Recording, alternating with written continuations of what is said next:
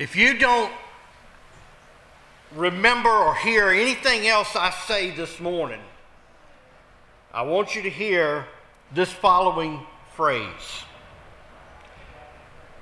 As you believe, so shall you do.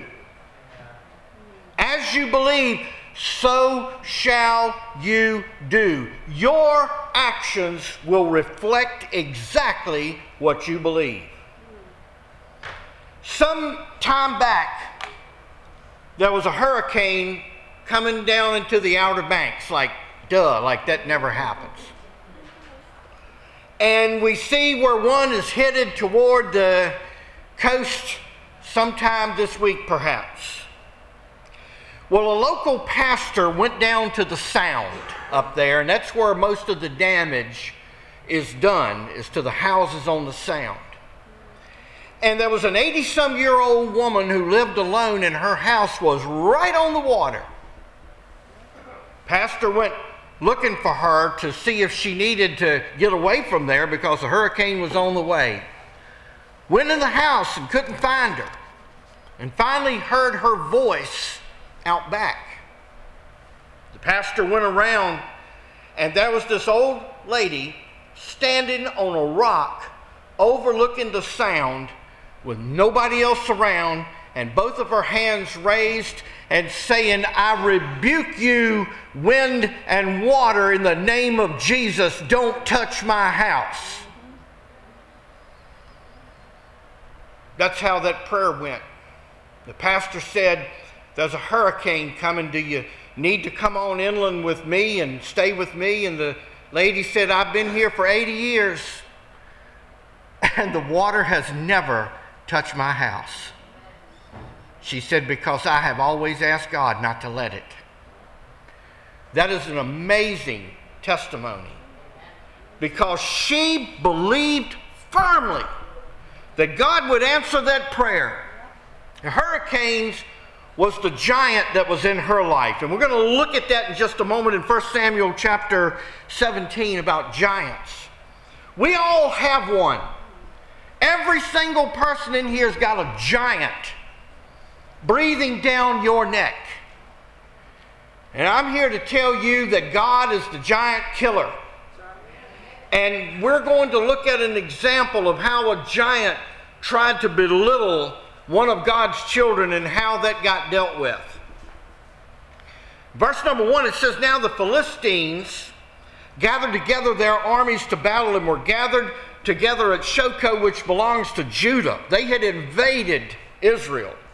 And they pitched between Shochoh and Azekah and Ephes And Saul and the men of Israel were gathered together and pitched in the valley of Elah, and they set the battle array against in array against the Philistines. The Philistines stood on a mountain on the one side, and Israel stood on the mountain on the other side, and there was a valley between them. I want you to picture that in your mind as to what that looked like. Thousands and thousands of soldiers. And there went out a champion out of the camp of the Philistines named Goliath, whose height was six cubits and a span. Let me tell you this in modern English. He was nine foot six inches tall. Now, if he went along the scale of what the the Department of Health says you're supposed to weigh for that height, I'm actually supposed to be about six foot nine, I think, you know, according to mine. But he was supposed to weigh 575 pounds. That was if he was average. The biggest the baddest and the most evil of all of them comes out to challenge the armies of Israel. And let me tell you this, people the devil will send his champion out to come after you too. If you are serving God, if you're on fire for God, if you're in His will and, and, and you belong to Him, the devil's champion is going to come for you too. And how you handle it is going to make all the difference in the world. It said he had a helmet of brass upon his head, and he was armed with a coat of mail, and the weight of the coat was 5,000 thousand shekels of brass. Most scholars said his coat weighed 126 pounds. He had greaves of brass on his legs and a target of brass between his shoulders, and the staff of his spear was like a weaver's beam. I'm going to tell you what that looked like in a minute. And the spear's head weighed 600 shekels of iron, and one bearing a shield went before him. All that size and all that armor, and yet he still got somebody carrying a shield in front of him. The spear according to a lot of archaeologists, was upwards of 26 feet long. And the spear head weighed over 15 pounds. And he stood and he cried unto the armies of Israel and said unto them, Why are you come out to set your battle in array? Am I not a Philistine? And you servants to Saul? Choose you a man for you and let him come down to me. And if he be able to fight me with me and to kill me, then we will be your servants. But if I prevail against him, then you shall be our servants and serve us. And then this hateful, evil man said, I defy the armies of Israel this day. Give me a man that we may fight together. I want you to also understand not to be surprised when evil challenges you and tries to shut you down. And it'll come in any of a thousand forms. That you, you, you must understand that the devil is bold and he's arrogant and he's blasphemous. And he will mock your faith and he will blaspheme all that's holy. If you want to see what that looks like, just turn the TV on for about an hour. I don't care where you put it, you're going to see some of that. And so when Saul and all of Israel heard those the words of the Philistines, they were dismayed and they were greatly afraid. Oh, don't look down at them, boy. That's the average church member we're looking at right there. That's the truth. The average church member is horrified when Satan's champion rails out at them. They fold up like a jackknife. They go to bed. They won't come out of the house. They don't want to talk to nobody. They go into this deep, dark whatever because the devil is after me. Dr. Lakin used to say if you don't want the devil to bother you, do nothing, say nothing, and have nothing. He'll leave you alone then. But you try to serve God, and the, He's going to yell and He's going to holler and He's going to scream to try to scare you. Don't be frightened by it. Don't buy it. The Philistine drew near morning and evening, and he presented himself, and he did this for 40 days. And back now at the ranch, Jesse said to David, his son, who was the youngest child, he was a teenage boy. We've been looking a lot of, at some of the teenage boys in the book of Daniel here of late. These weren't the little snowflakes that you see today that's running for a safe space with a coloring book. These were 14 year old men that weren't afraid of anything. That's what we were looking at there. And here David was back watching the sheep. That was the junior man's job in the family. If you were the youngest and the littlest or whatever, they stuck you watching the sheep. That was nobody wanted to do that. But he did a wonderful job. And so he said to his son, Take now for your brethren a, a, an ephah of parched corn and these ten loaves, and run to the camp to your brethren, and carry these ten cheeses unto their captain, and see how your brethren fare, and take their pledge. Now Saul and all the men of Israel were in the valley of Elah fighting with the Philistines. There wasn't a whole lot of fighting going on, they were just there. David rose up early in the morning and he left the sheep with a keeper. And he took and did as Jesse commanded him, and he came to the trench as the host was going forth to the fight and shouted for the battle. For Israel and the Philistines had put the battle in array, army against army. You know what they were really doing? There's a lot of names for what the, each army was doing. They were showboating. Ever heard that? Maybe you've heard the word profiling. What was it? Ric Flair used to say he's styling and profiling. That's about all they were doing. They weren't doing any fighting. They were trying to make a show. I've got this rooster at the house. Great big gray rooster. And sometimes when I go in the lot to put him up for the night, he can make the feathers stick out about that far on his neck to look like he weighs about 100 pounds. And he comes after me. Being the big, tough, strong man I am, I make sure I have a shovel to block myself with to get him in that chicken lot. But he look he he makes a big noise and he comes at you and he looks fierce. That's all that they were doing. Some people said they were used the expression they were signifying. But they were doing nothing. They were kind of like the keyboard warriors on Facebook. They're gonna do this to you and they're gonna do that to you if you could ever get them out of their mama's basement. and so David left his carriage in the hand of the keeper of the carriage, and he ran into the army, and he came and saluted his brethren. And as he talked with them, there came the champion again, the Philistine of Gath, Goliath by name, out of the armies of the Philistines, and he spoke according to the same words, and David heard them. And the men of Israel, when they saw him, they fled for him and were so afraid.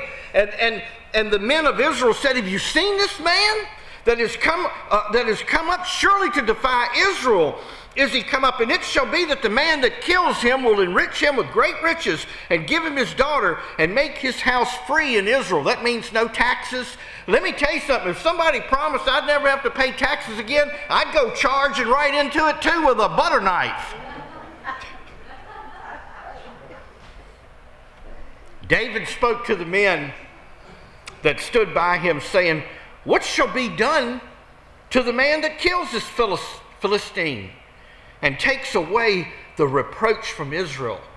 And he asked a question because he was indignant. He couldn't believe that nobody was going to go up there and take that devil out. He couldn't believe that because he had faith. He believed that he was in the army of God, not just the army of Israel.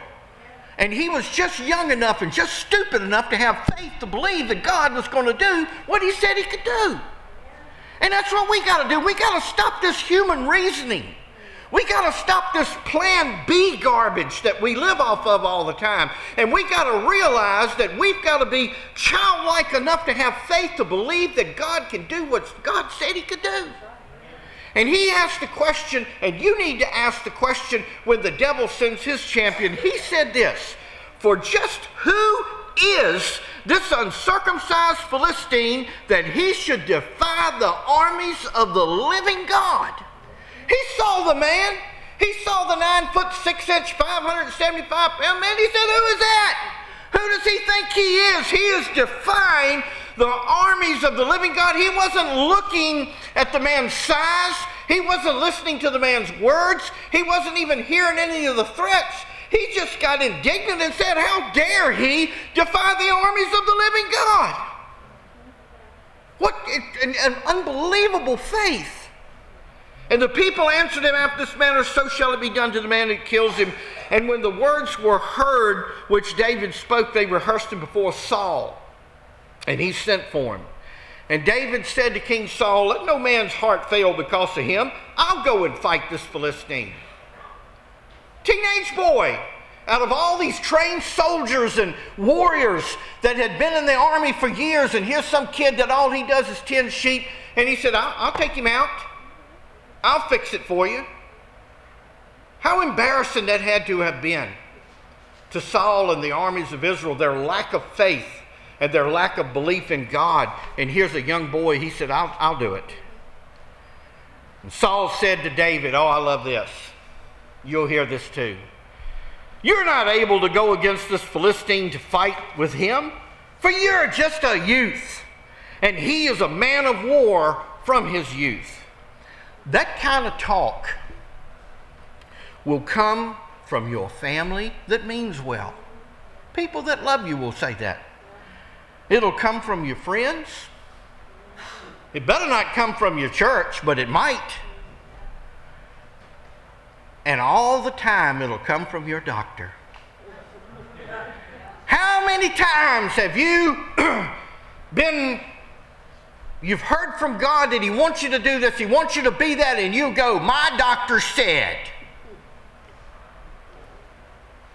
I'm sorry, but today's doctors have become so dumb that the commercial said you got to go tell your doctor what kind of medicine to give you. I'm sorry, that's pitiful. I had a doctor one time in the emergency room. I went in there for kidney stones.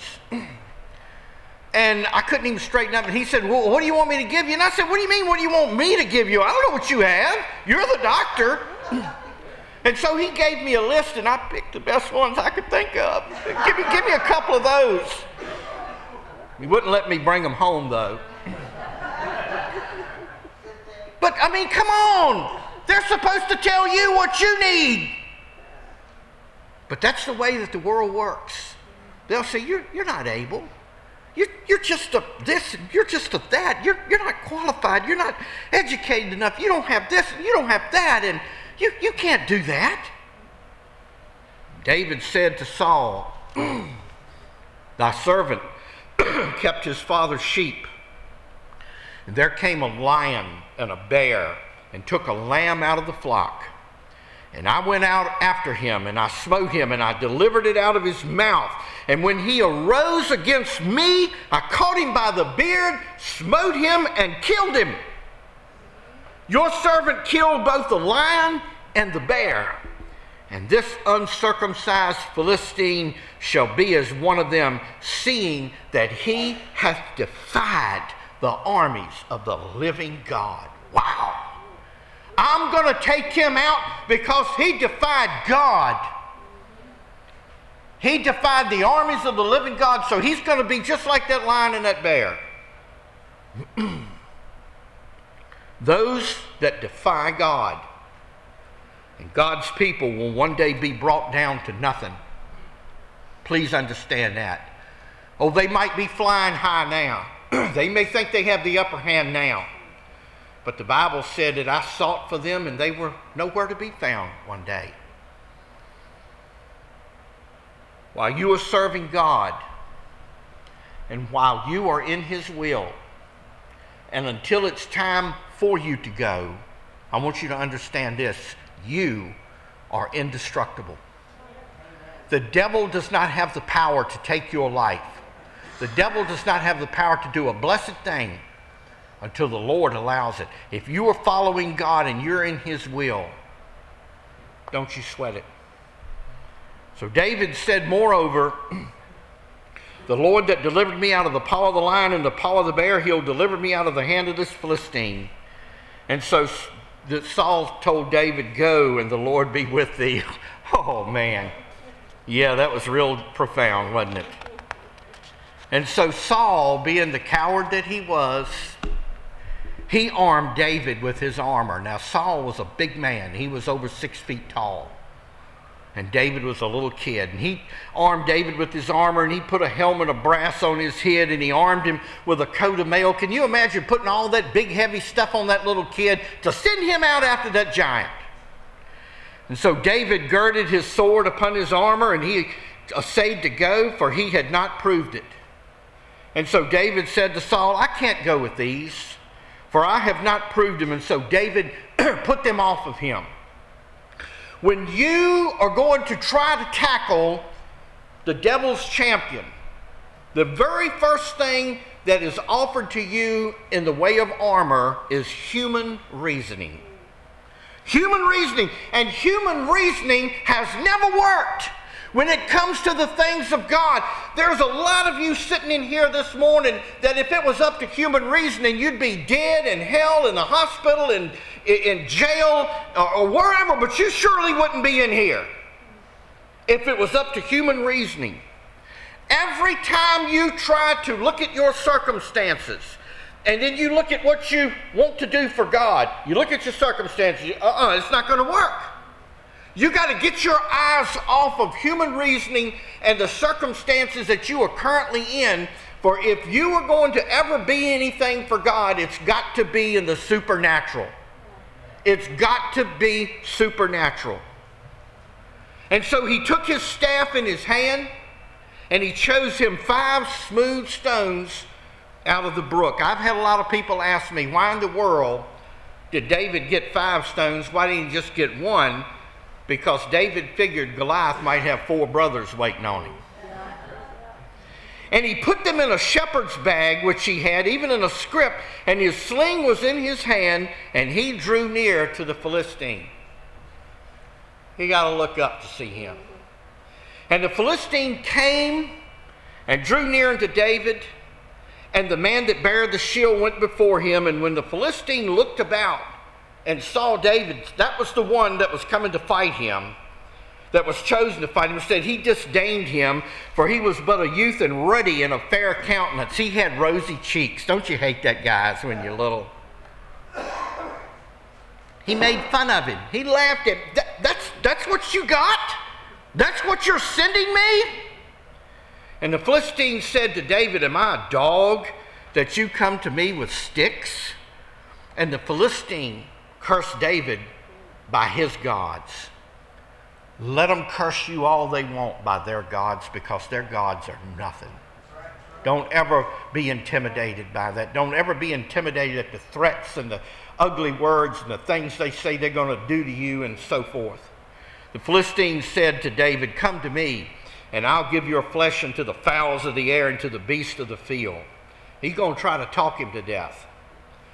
And then David said to the Philistine, and listen to this, you ought to take this verse, underline it, copy it, put it on a piece of paper, and carry it in your wallet, your purse, or whatever, because when the devil sends his champion, and he will, and he'll do it often, you can read this to him. You come to me with a sword and a spear and with a shield, but I come to you in the name of the Lord of hosts, the God of the armies of Israel, whom you have defied. Whew. That's a mighty bold talk for a kid going up against a nine foot six inch man. But you know what? David believed. And as you believe, so shall you do. Your actions will show what you believe.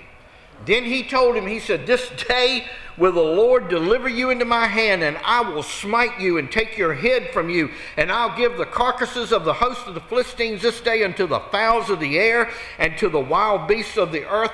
For one reason and one reason only he did this, that all the earth may know that there is a God in Israel. You want people to believe in God, then you show them there's a God. You show them. That's what you're here for. We are here to show the glory and the power of God. All my life, I've had people tell me, and some teachers tell me that all oh, miracles ain't for today anymore, and that don't happen anymore, and you can't do this anymore, and this don't happen anymore, and they were lying. Oh my goodness, do you realize what power you have as a child of God, the Holy Spirit living within you. And he made this one more statement. He said, In all this assembly shall know that the Lord saves not with sword and spear, for the battle is the Lord's, and he will give you into our hands. And it came to pass when the Philistine arose and came and drew near to David. What did David do? Did he start backing up? You ever have anybody real big come up to you and you just start backing up? Or maybe something is happening in your life and you just start backing up? It said David hasted and ran toward the army to meet the Philistine. He was in a hurry to get it done and he didn't waste time. He ran toward his enemy. Do not ever back up when the devil's champion comes and starts threatening you. Don't you back up. You just keep going forward.